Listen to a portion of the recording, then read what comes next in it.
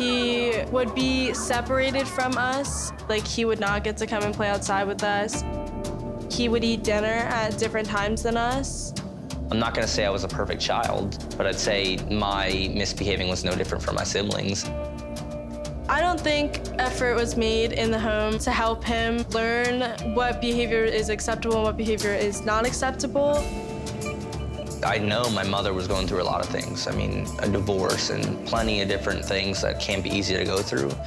And, you know, I want to think that she needed someone to, to, to take out her anger and her frustration on. And, and that, it was just kind of me, you know, I was in the way and I was there, so she chose me.